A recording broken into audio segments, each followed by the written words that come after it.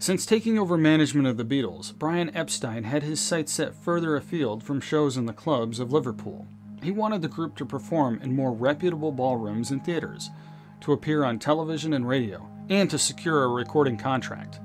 On the 10th of January 1962, he visited the BBC's Manchester headquarters to complete a three page application for an audition by the Variety Department. The hope was that he could get the Beatles in audition before radio producers, who would then call on them to perform on their shows. Epstein's application was approved, and the Beatles traveled to the BBC, Piccadilly, Manchester, to play before Peter Pilbeam, a producer for radio shows aimed at teenagers, made in the northwest of England, but broadcast throughout the nation. The Beatles played four songs Like Dreamers Do, Till There Was You, Memphis, Tennessee, and Hello Little Girl. The first two were sung by Paul McCartney, with John Lennon taking vocals on the latter two. On the 7th of March in 1962, the Beatles recorded their radio debut at the Playhouse Theatre, Hulme, Manchester. The recording was for the show Teenager's Turn, Here We Go. The band rehearsed their set from 3:45 p.m. in the evening, wearing suits for the very first time. The Beatles performed three cover versions: Dream Baby, How Long Must I Dream, Memphis, Tennessee, and Please Mr. Postman. Together with the other three acts also appearing on the program, the recording took place between 8 and 8:45 p.m. On the 10th of April, Stuart Sutcliffe, ex Beatles bass guitarist in their early period, died of a brain hemorrhage. He'd been suffering from increasingly severe headaches and blackouts since settling in Hamburg with Astrid Kirchherr, his German fiancée. The cause of these remained uncertain, though Sutcliffe believed they were a consequence of overwork. On April 11th, John Lennon, Paul McCartney, and Pete Best flew out of Manchester destined for Germany for their first residency at the Star Club in Hamburg. George Harrison was unwell at the time, so he flew to Germany the following day with the Beatles manager Brian Epstein. Lennon, McCartney, and Best were met at the airport in Hamburg by Astrid Kirchherr to tell them the devastating news. June 6 was the date of the Beatles' first visit to EMI Studios at 3 Abbey Road, St. John's Wood, London. The session took place in Studio 2 from 7 to 10 p.m. The Beatles first ran through several songs and then recorded four. Precise numbers of takes are unknown, but they were taped in the following order Besame Mucho, Love Me Do, P.S. I Love You, and Ask Me Why. August 15th was Pete Best's final show with the Beatles. This was the Beatles' 91st evening show at the Cavern Club. It was also the 38th occasion on which they performed both lunchtime and evening shows at the venue. More significantly, it was Pete Best's final show with the Beatles, two years and three days after he first performed with them. The Beatles manager, Brian Epstein, asked Best to come to the NEMS office the following day, although the drummer failed to see anything unusual in the request. Uh, sort of clash of personalities. The boys, the Beatles, you know, they've been over here several times, mm. and to me, they seem to have a say in everything that happens. I would have ma- imagined. I don't know in that world. Well, uh, I think they've always been like that. Not just since Brian has taken them over. They've always been like that. They've always sort of had a little bit to say. But um, from the point of um, clash of personalities, well, probably that may be it because it, Peter was uh, did have a terrific fan club, you know, yeah. compared to the others. It's too good looking, perhaps, eh? Well, I'll leave that for the other people to say, but from my point of view, we haven't come here to sort of um, throw any sticks and stones at the boys because there is no really hard feeling. There was at first, but as I say, success is hard to come by, and these things do happen. But it's just the way that it was done that has annoyed us. Mm. That's all.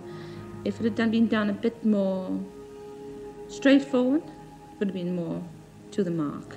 I've forgotten about it now. You know, I don't know what they are. Yeah. But uh, the way I look at it, you know, just let it lie now. Except for the reports in the papers, and you know, it gets me a bit niggled at times. They keep keep going having a go at you, do they? Yeah, you know. Well, what do, what do they say mainly? Well, you know, drummer wasn't too good, the beat wasn't so hot, you know. Was... How'd you get on with Ringo? Do you talk to Ringo? Well, I haven't seen Ringo for donkeys years. I used to be good mates of his. mm. you know, before the replacement took place. We're still mates now, like, but mm. I haven't seen him to have a chat with him or anything like that. Pete Best was probably the best looking of the bunch. He was very quiet with a sullen kind of charm. Pete initially in Liverpool was the most popular member of the Beatles, particularly with the girl fans. And whenever the Beatles used to appear, all the girls used to shout and scream for Pete. But he couldn't play drums very well. I mean, couldn't keep in time too well. And I was aware that the band weren't tight. They, they needed that sort of binding force that a good drummer should give them. So I said to Brian, well, I'll get another drummer for the recording sessions. You can do what you like with, with him on stage, but we'll have someone else on, on, on the tracks. And I didn't realize until afterwards that they'd been thinking the same thing anyway. Following the sacking of Pete Best, the Beatles were quick to recruit their new drummer. Ringo Starr wasn't a stranger to the band, having stood in for them on several occasions in Hamburg and Liverpool, where he primarily played for Rory Storm and the Hurricanes. Ringo first played on the same bill as the Beatles on the 13th of March in 1959, on the opening night of the Morgue Skiffle Cellar in Liverpool. He was playing with Al Caldwell's Texans, and further down the bill were the Quarrymen. Caldwell later became Rory Storm. The Quarrymen, of course, were to become the Beatles. I think one of the biggest changes I do remember from the Beatles was when um, when Pete Best was given the sack um, we were actually um, invited along to see uh, Brian Epstein at the time. He just signed uh, the Merseybeat up, so we went along to the office. And Pete Best was walking out of the office as we were going in with a very long face. We said hello to him, he completely ignored us and walked past. And we found out later that um, Brian had said to him, I'm afraid uh, we're bringing a new drummer in, we're bringing Ringo Starr in. But if you want to stay in the business, uh, I suggest that you join the Merseybeats. Well, he turned that down by saying, they're not going to join those little kids. but we, uh, as it happened, we wouldn't have had Pete anyway because we were quite happy with John Banks, who was our drummer at the time. quite happy. But I did notice a great change in the band then. Um, and after that, we went along, we appeared with them at the cavern uh, the next day. And I remember uh, they were doing a lunchtime session, and as they turned up, George had been assaulted outside. This was to do the first show with Ringo Starr. And George came in with a big black eye, and we said, What's happened to you?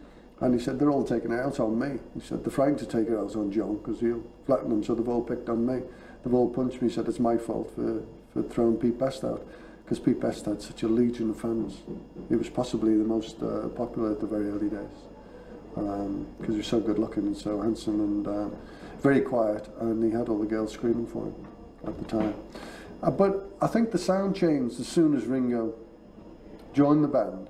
To me, it was slightly different. He did a different bass drum pattern. Um, Pete was a lot more, a lot simpler, uh, a lot heavier player. And uh, to me, they went more to an all-round band than the heavy rock and roll as they started off with. I mean, as it happened, they, they went from strength to strength then, but, um, but I think the sound somehow wasn't quite the same.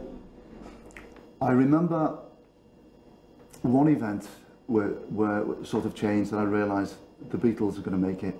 I mean, from day one, I knew they were going to make it. I just knew they were going to do something. I didn't know how big they were going to be, but I, I knew they were going to be big, not just around Liverpool, not just around Merseyside.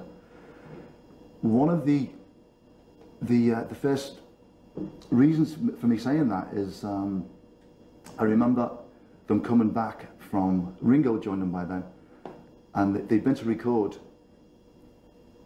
and it was the follow-up to, to uh, Love Me Do, it was Please Please Me and they changed it quite a bit.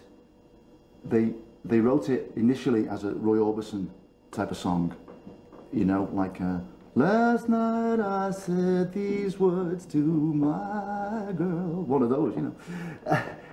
and they came back with a new interpretation of it, faster, Paul singing a, a top melody over John and George coming in with Paul doing the backing vocals. And it just blew me away. And I remember getting shivers down. They were playing it live, the new version of it, live on the cavern, around the corner from here. And I just said, oh my God, that's it, that's the one. That's going to be number one all over the world. And for, to make a bold statement like that, which I did to myself and to friends as well, when I, as a 15-year-old boy, um, was something was something else you know, but I realised then that they were going to do it. It was just, the, the way they changed it, um, it was just an immediate number one record. On Thursday, August 23rd, John Lennon marries Cynthia Powell at the Mount Pleasant Register office in Liverpool. Brian Epstein was the best man, and George Harrison and Paul McCartney were also in attendance. Absent was John's Aunt Mimi, who disapproved of the union, although Cynthia's half brother and his wife were there. Tuesday, September 4th, the Beatles record How Do You Do It and Love Me Do. Following the Beatles' first session for EMI on the 6th of June 1962, they returned for a second attempt at recording their debut single. This was Ringo Starr's first recording session with the group. In the morning, the group had flown down from Liverpool Airport. They checked into a hotel in Chelsea and arrived at Abbey Road shortly after midday. Before the recording session, the Beatles undertook a rehearsal overseen by EMI's Ron Richards, during which they repeatedly ran through six songs. Two of these, Love Me Do and How Do You Do It, were chosen to be recorded by the group. The rehearsal lasted between 2 p.m. and 5 p.m. During it, they also played a slower, bluesy version of Please Please Me, which featured George Harrison playing the main motif throughout the song. On September 11th, following their studio session of September 4th, the Beatles recorded How Do You Do It and Love Me Do. EMI hastily arranged for them to return to London for a third attempt to complete their debut single. The session, which lasted from 5 p.m. to 6:45 p.m., was produced by Ron Richards, although George Martin arrived halfway through. Ringo Starr was relegated to playing the maracas on a remake of P.S. I Love You and tambourine on Love Me Do.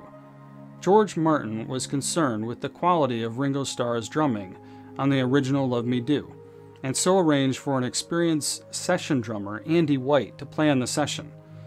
White was paid a standard fee of £5 15 pence. Brian Epstein walked into my office one day and said he got a group that he wanted me to hear. Brian had apparently taken one of his tapes into the EMI store in Oxford Street to get it transferred to disc. And the engineer heard it and thought it was very good. Brian told him how he'd been to every record company in the country and uh, hadn't got any, anywhere with it. And he saw me because I had a reputation at that time for being rather screwball and, and uh, rebellious, and uh, I would take any nutty thing like the Beatles. The music wasn't frightfully original. There were no great songs there. It was just the sound was interesting. I arranged a, a recording test with them in Abbey Road, number three studio, which meant I was going to spend a couple of hours with them finding out what they could do. They had a very, very funny version of Please Please Me, which was rather slow. They did have Love Me Do. Um, weird things like Fats Waller Your Feet's Too Big or Till There Was You. I got them to sing lots of different things to find out which voice was good. I was looking for the Cliff Richard or the Elvis Presley or the Tommy Steele, saying now, is Paul going to be the main one or is John going to be the main one? And George, well, he's obviously not got such a good voice as the other two. And then it suddenly hit me right between the eyes. Why the hell should I find a solo singer? Why not just have the lot of them as they are? It wasn't their music that sold them to me. It was their charm. They were very charming people. On Monday, the 1st of October, John Lennon, Paul McCartney, George Harrison, Ringo Starr, and their manager Brian Epstein signed their first and only contract as the Beatles with this lineup. It replaced an earlier contract that had been signed by the group's previous drummer, Pete Best. Ringo Starr signed the contract under his real name, Richard Starkey, and the fathers of George Harrison and Paul McCartney also signed the contract, as the pair were under 21 and needed parental consent. Under the terms of the contract, Epstein agreed to undertake all necessary advertising and publicity for the artists, and to advise the artists on all matters concerning clothes, makeup, and the presentation and construction of the artist's acts in return for 25% of the group's earnings, as long as they made more than 200 pounds per week each. The Beatles and Epstein signed the contract at Epstein's office at NEMS in Whitechapel, Liverpool, four days before the release of their first single, Love Me Do.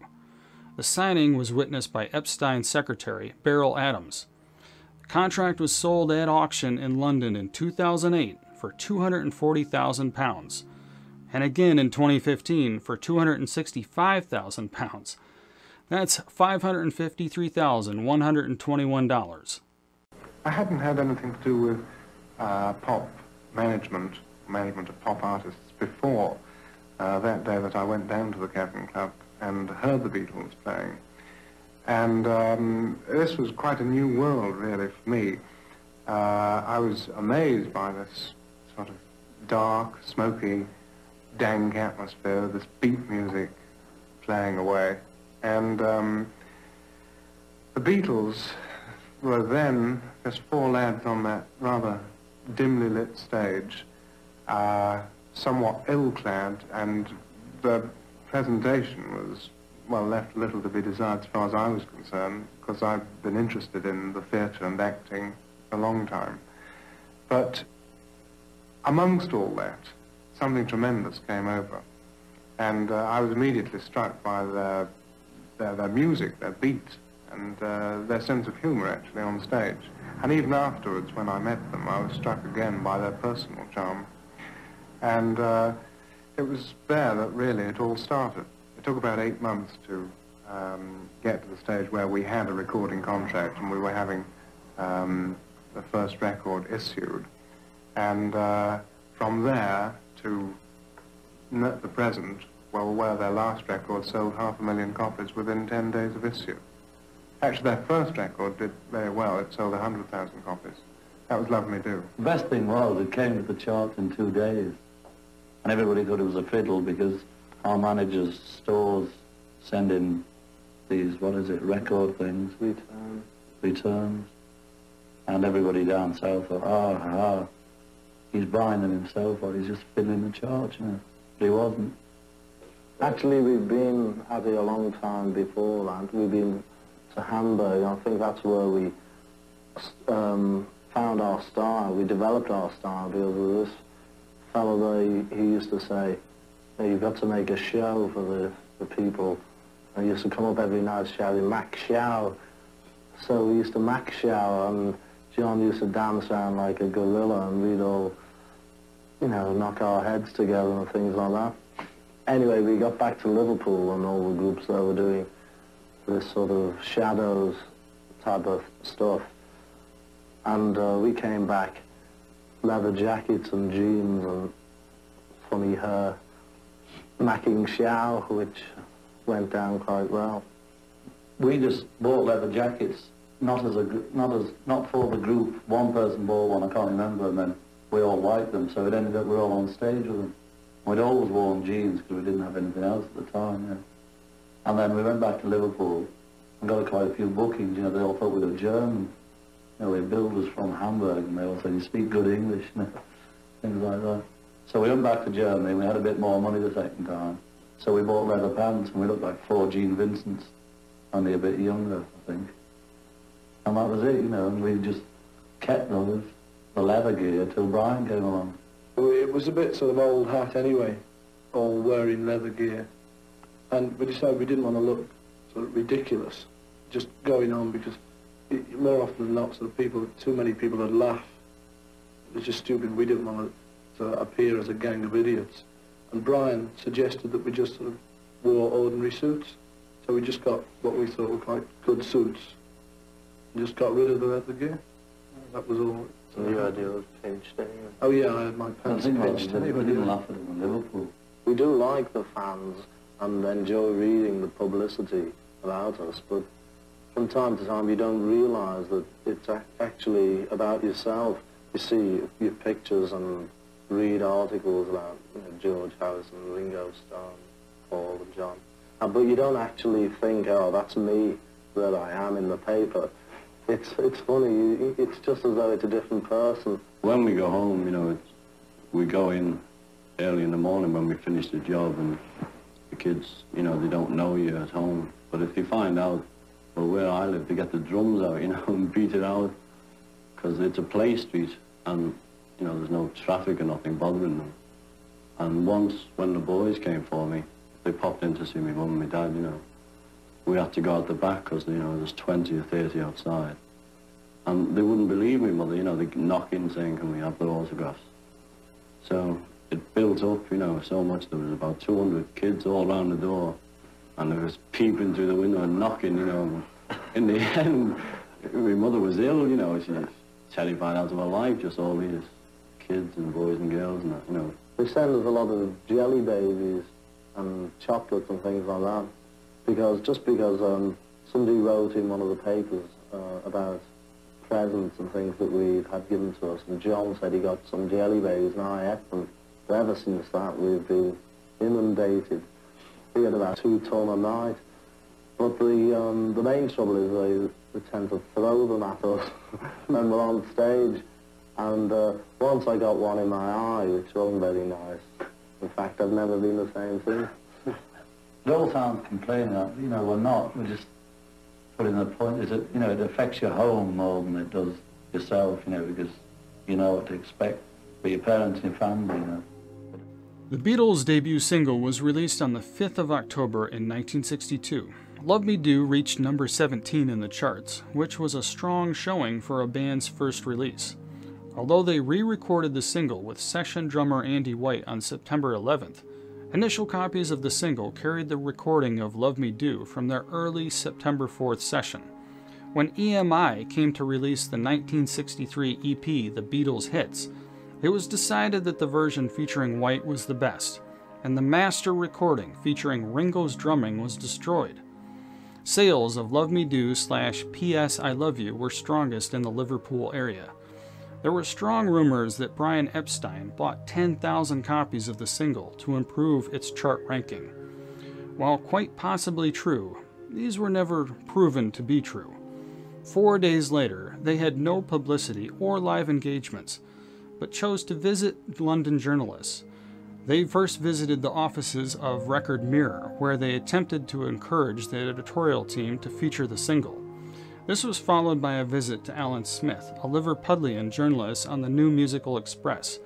Smith asked the Beatles what they thought of Londoners, and he received the reply, Not much. If they know you come from the North, they don't want to know. Attitudes would swiftly change once the Beatles found nationwide success. At 8:45 p.m. on Saturday the 27th, before their fourth and final live appearance at the Hulme Hall in Birkenhead, the Beatles recorded a radio interview for Radio Clatterbridge. It is the group's earliest surviving recorded interview.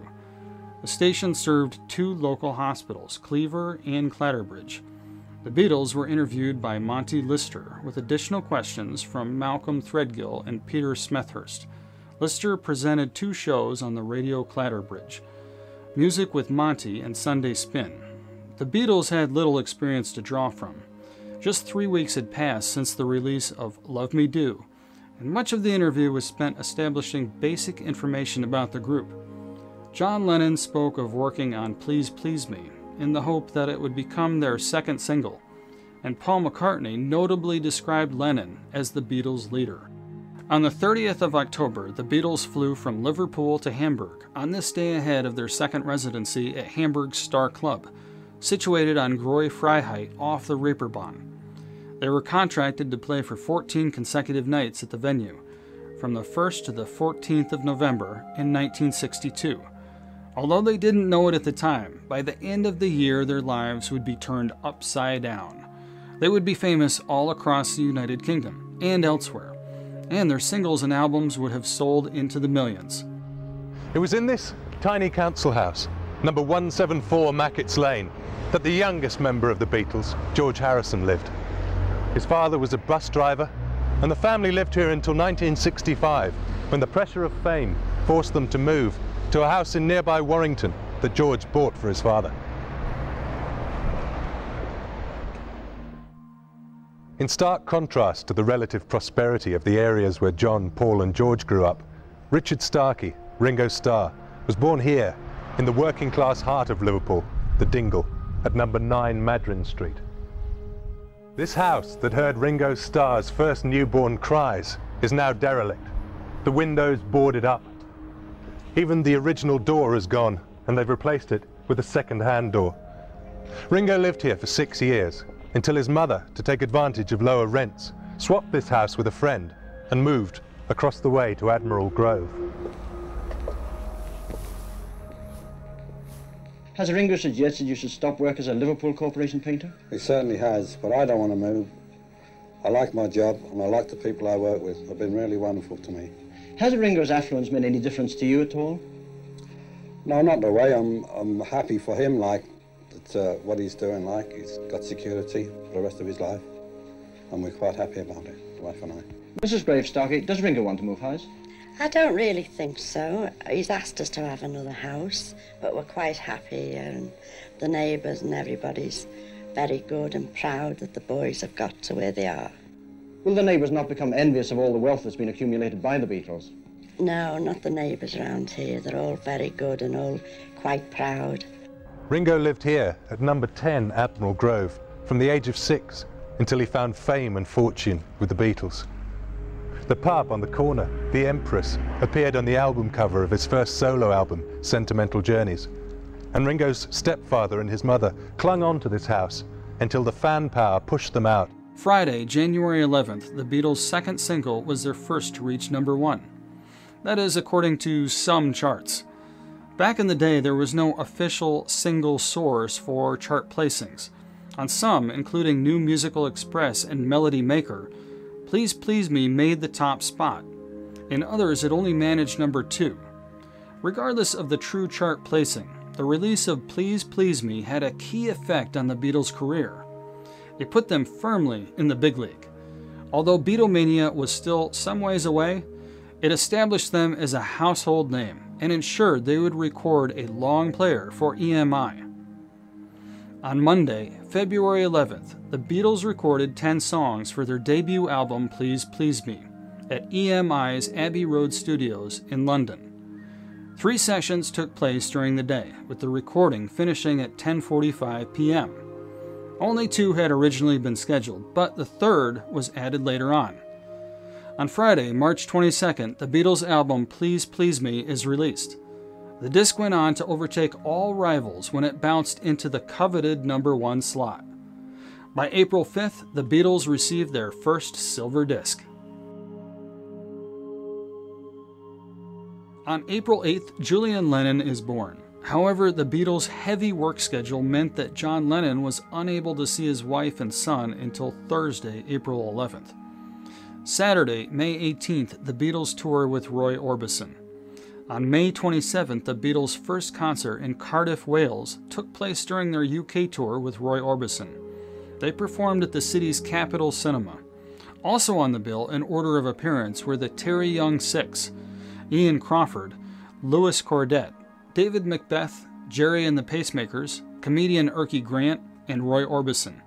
The Beatles were the headline act and were paid £100 for the appearance. They performed a seven song set some Other Guy. Do you want to know a secret? Love Me Do. From Me to You. Please Please Me. I saw her standing there. And Twist and Shout. With the success of the Beatles looking assured, and expectations for better things as their fame grew across the United Kingdom, Brian Epstein formed the Beatles Limited to handle their legal and business affairs on the 20th of June. Although much of their business continued to be handled by NEMS Enterprises, the new company was a partnership which allowed each of the Beatles to have a specified stake in their success and to ensure lower rates of corporate tax. The Beatles Ltd was replaced in April 1967 with the formation of the Beatles and Company, which was later to become Apple Corps. On July 1st, the Beatles recorded both sides of their fourth UK single, She Loves You, I'll Get You, which was released on the 23rd of August in 1963. The group began recording at 5 p.m. at Abbey Road Studio 2 and finished at 10 p.m., although the session had been booked for 2:30 to 5:30 p.m. The two songs worked on were She Loves You and I'll Get You, the latter under its working title Get You in the End. Also in July, the Beatles completed, in under 8 hours, 18 songs for three editions of the radio show Pop Go the Beatles. At the BBC Paris studio in London, they rehearsed and recorded the songs along with Between the Song banter. The shows were broadcast on the BBC Light program on the 6th, the 13th, and the 20th of August in 1963. These were later released as the BBC sessions. On the 30th of July, the Beatles recorded Money, Till There Was You, Roll Over Beethoven, It Won't Be Long, and All My Loving. This was the Beatles' second EMI session of the day. The first had ended so the group could record an interview and radio session for the BBC. The evening session began at 5 p.m. and finished at 11 p.m., an hour later than scheduled. On Saturday, the 3rd of August, after nearly 300 performances at Liverpool's Cavern Club, this was the Beatles' final show at the venue. It was well known that the Beatles had outgrown the cavern by this time, and their regular fans were grudgingly aware that their popularity could only be served by bigger venues.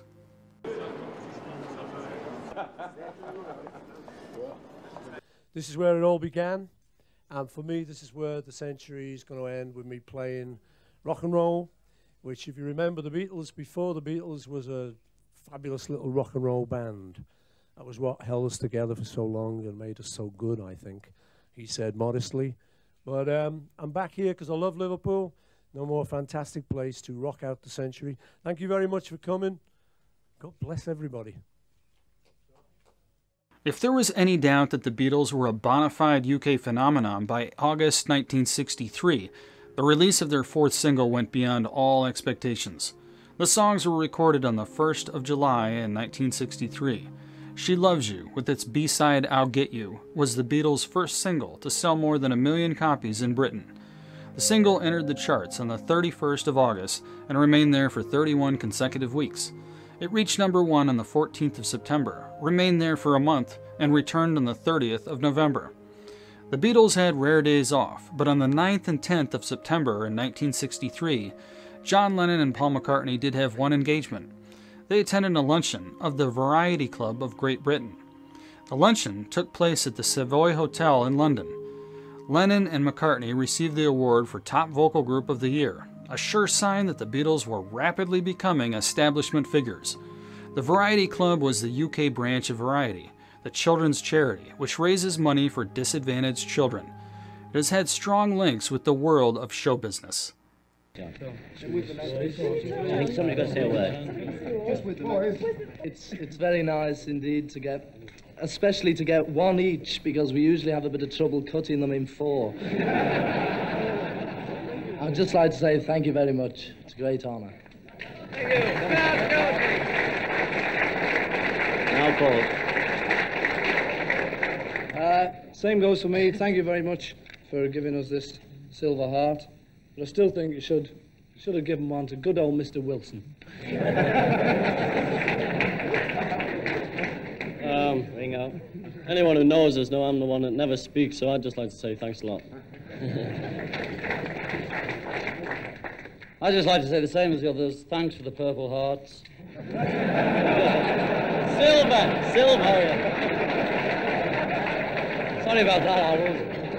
We'd like to sincerely thank you all, and uh, we've got to go now because the fella on the film wants us, and he says it's costing him a fortune. thank you.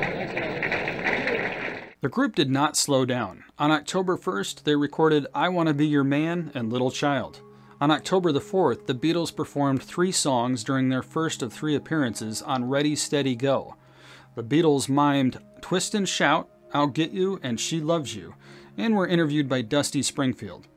The episode was transmitted from 6:15 p.m. to 7 p.m. Although the Beatles' popularity had been growing steadily and to increasingly frantic heights through 1963, their appearance at the London Palladium on Sunday, the 13th of October, catapulted them into the attentions of the mainstream media, who coined the term Beatlemania to describe the scenes of screaming fans. The Beatles' third UK EP was a collection of four songs taken from their debut album Please Please Me. It was released, like all the group's UK output so far, on the EMI subsidiary label Parlophone. Monday, November 4th, was the night the Beatles appeared at the Royal Command performance at the Prince of Wales Theatre in London, in the presence of the Queen Mother and Princess Margaret. By this point, Beatlemania was an established phenomenon, with the group drawing large, huge, and frenzied audiences across the country and beyond. This was followed by numerous TV appearances over the next few months, and beyond now they have become the world's number one pop group. The Beatles' fifth UK single was an instant smash, with pre orders of more than a million copies. The Beatles ended 1963 and started 1964 with their Christmas show. Starting from December 24th and going through to January 11th, the Beatles made their debut on the television show Val Parnell's Sunday Night at the London Palladium on the 13th of October in 1963. Three months later, they made their return on January 12th. The difference in the Beatles' profile between then and now was huge, illustrated not least by their fee having gone from 250 pounds to 1,000 pounds. Following their first night of performances at the Olympia Theatre in Paris, the Beatles on January 16th arrived back at the Hotel George V, where they were told that I Want to Hold Your Hand had reached number one in America. Meet the Beatles, the band's first LP on Capitol Records, was released in America on the 20th of January in 1964. It came out while the Beatles were in Paris. Please Please Me had first been released as a single in America on the 25th of February in 1963, but had failed to make an impact. The cash in on the success of I Want to Hold Your Hand, and in anticipation of the Beatles' first US visit, Vee-Jay re released the single. On the 7th of February 1964, the Beatles' American invasion began. The band's Boeing 707 Pan Am Flight 101 left London Airport early bound for New York City.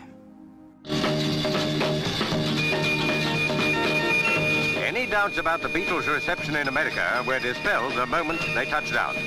New Yorkers turned out in force, and making allowance for an American accent, the screams might have been genuine Merseyside. George, John, Paul, and Ringo had found a new world to conquer.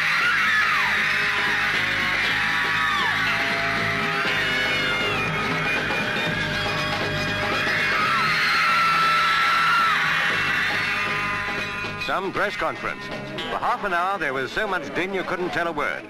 It was a matter of everybody being patient, hoping it would begin eventually. Anyway, we wrote off. No! Sorry. Next question. No, we need money first. How much money do you expect to take out of this country? Nothing. Half a crown, ten dollars. Sorry, I, I know well they can tell us what they think they have. How many are bald if you have to wear those wigs? All of us. I'm bald. You bald? Oh, we're all bald. Don't yeah. tell anyone, please. I'm deaf and dumb too. Deaf and American. Now you, you, you, you get the point. Aren't you afraid of what the American Barbers Association is going to think of you? Well, we've run quicker than the English ones. We'll have a go in. Did you understand to get a haircut at all? No, Nope, no, no, no. thanks. I had one yesterday. That's no lie. you know, I think he missed.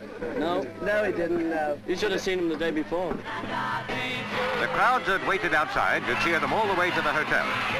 No arguing about it. The Beatles are the top pop music phenomenon of the century. The 9th of February 1964 was the date that the Beatles' record breaking first live appearance on The Ed Sullivan Show took place at Studio 50 in New York City. 73 million people were reported to have watched the first show. It is still supposed to be one of the largest viewing audiences ever in the US. When they arrived in America. And how come 73 million people were watching for an unknown band? No, what had happened was that the Beatles had started to have their success a little earlier. It was in late November 1963 that there was a TV news report that came to America that was going to be shown. Unfortunately, that evening was Friday, November 22nd, which is the day JFK was shot. So, and uh, after that tragedy, they took the film clip of the Beatles and put it on the on, on the shelf. Thought, well, we can't show this now. 18 days later, Walter Cronkite said he was trying to cheer up the American nation after this tragedy. He said, hang on, didn't we have something light-hearted we can show to people? Yeah, we got that clip of those weird guys from England with the funny hair. Why don't we put that on? It'll cheer people up. And that is why three weeks later when they land here, there's already Beatlemania.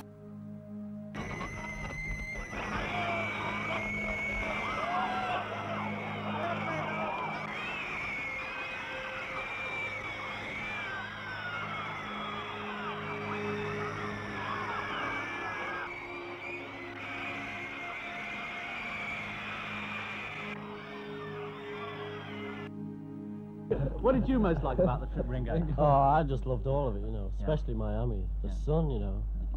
I didn't know what it meant until I went over there. Don't you get it up in Liverpool? No, they, they finished up there, you know. Cut it out.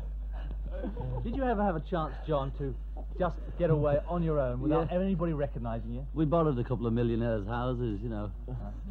Well, well, you already swimming. did. You could afford to buy a couple of millionaires' houses, couldn't you? Oh, yeah, yeah. We're sooner borrow them, it's cheaper. and we did a bit of water skiing. Uh, well, sort of, anyway. Yeah, we had a great Did you did your wife enjoy it over there? Yeah, she loved it. Who? Who? Who? Don't tell him he's married. It's a secret. oh, I'm sorry. Yeah, I'm sorry about that. I didn't mean to. What about the uh, taste of the fans over there? Did you find same stuff? You never been. Yeah. yeah. If the, uh, we expected them to be very different, but, but they weren't at all. Yeah. The accent was the only thing, you know, it was the only difference. Lovely. Did they reckon? Did they reckon you sang in, a, in, an, in an English accent or American? No, some fella said, how come because you're from Britain and you're still sing an American accent or something? Huh? So- funny. We've been trying to explain him, to him that Well, it's a Liverpool American, accent. you know, but he wouldn't believe He kept it. Oh, it's funny. We But when, like when you came back from France, you told me that they like the sort of quicker numbers. Yeah. And but what did you do? You just do all the same routine as you do here?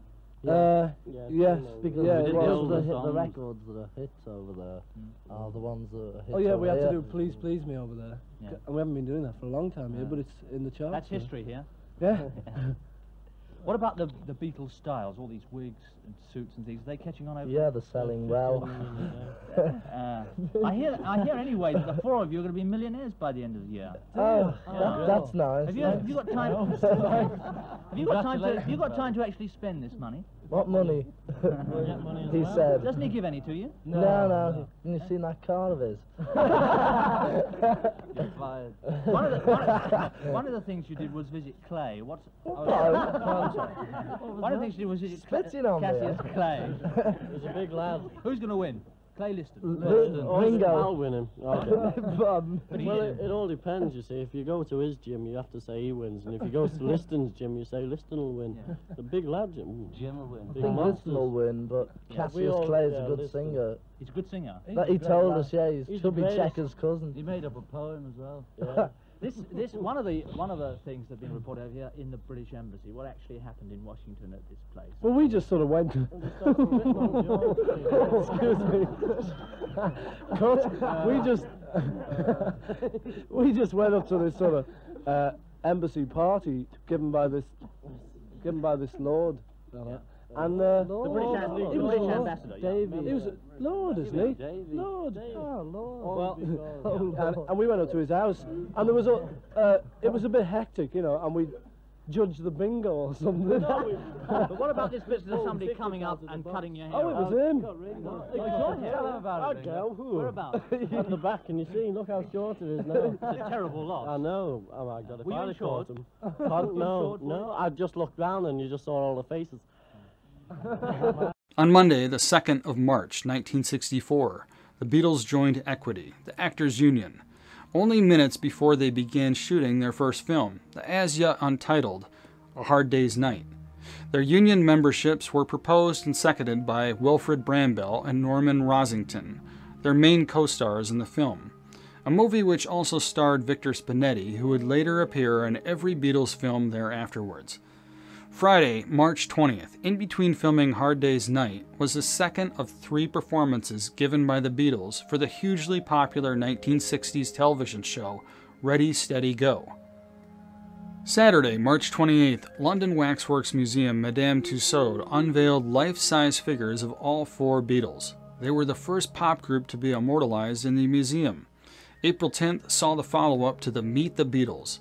The Beatles' second album was their third long player in the United States, if Introducing the Beatles, released by Vee-Jay in January 1964, is included.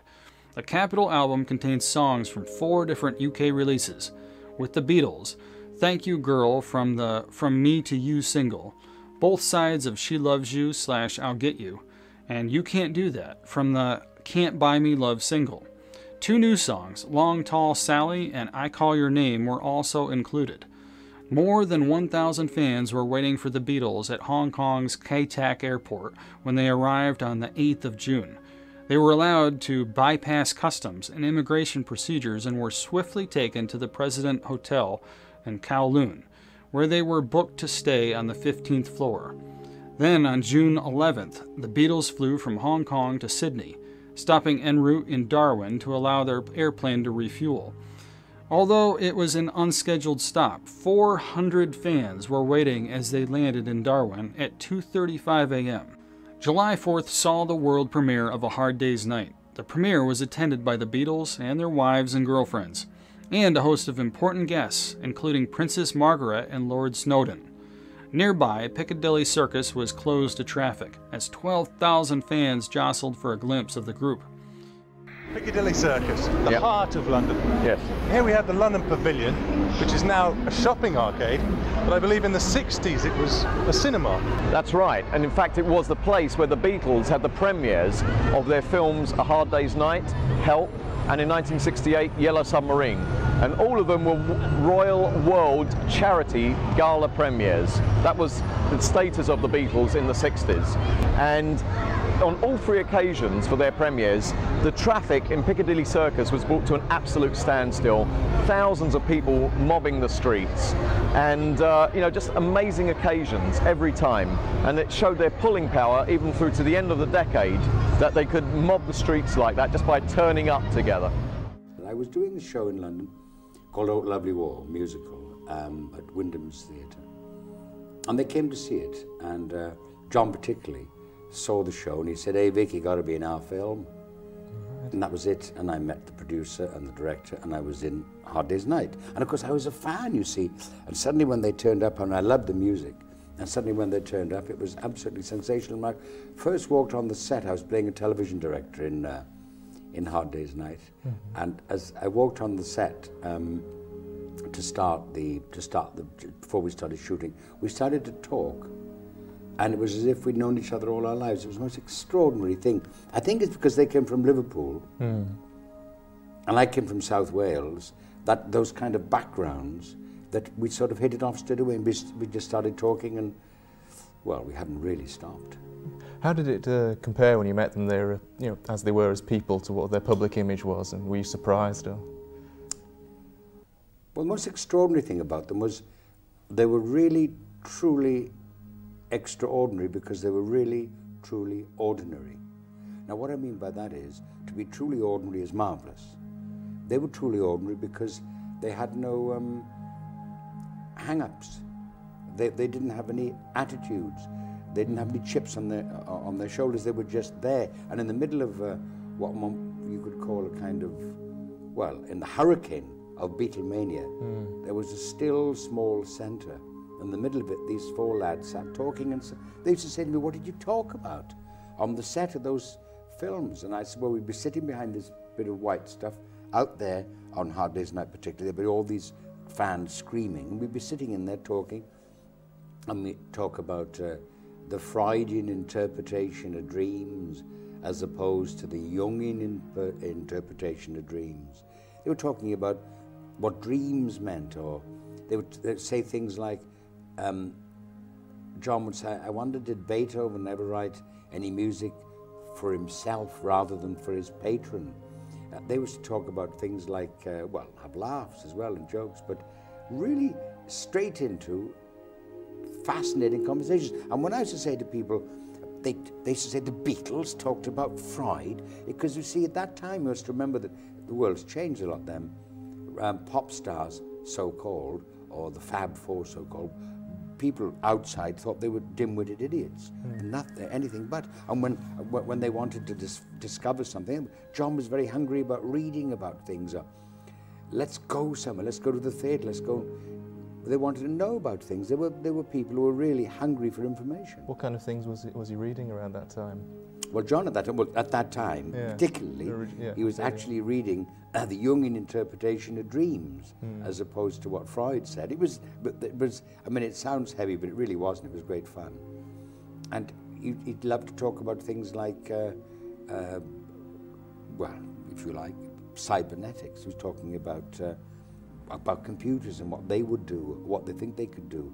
I mean, then, when they were just, when it had just started, it were really great conversation, great fun, and also, I mean, in there'd be all sorts of jokes inside. I remember I was in a car with them once, and It was jammed. You couldn't get out of the car.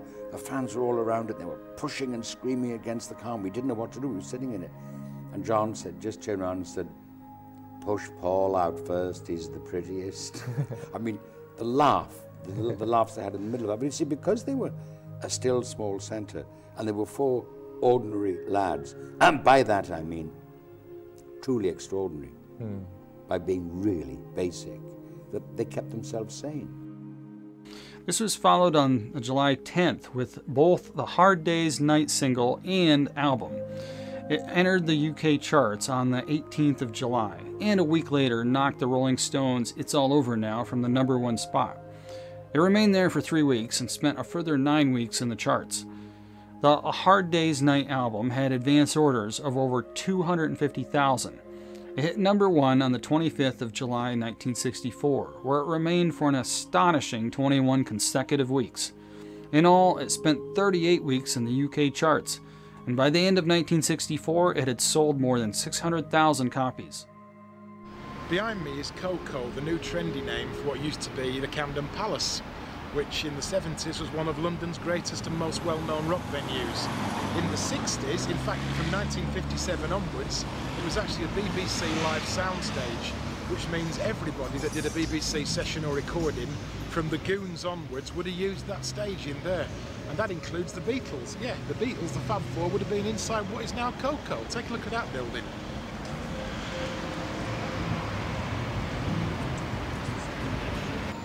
Behind me is Palladium House. It's just lower down than the Palladium, just off Oxford Street in central London. It was from 1965 Brian Epstein's management office. Had Brian lived, he was going to go into business partnership with Robert Stigwood. Imagine what a team that would have created.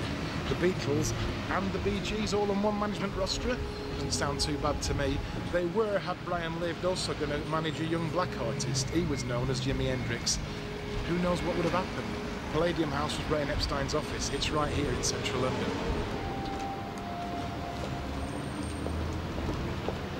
Behind me is the Bag pub. In fact, just round the corner in that direction is Buckingham Palace, which is kind of fitting because in the 1960s the London press dubbed this pub the Bag Buckingham Palace Mark II. You want to know why? Dead simple. The upstairs room was the drinking place of the Beatles, the Rolling Stones, the Who, and just about every major 60s band that ever passed through central London. That was where they did all the drinking. That was nicknamed Buckingham Palace Mark II, and that is the Bag of Nails. Carnaby Street in London. It was once said that if aliens came back and visited right now, they'd wonder where the hell they'd arrived at. In the 60s and the 70s, it was the coolest place in the world.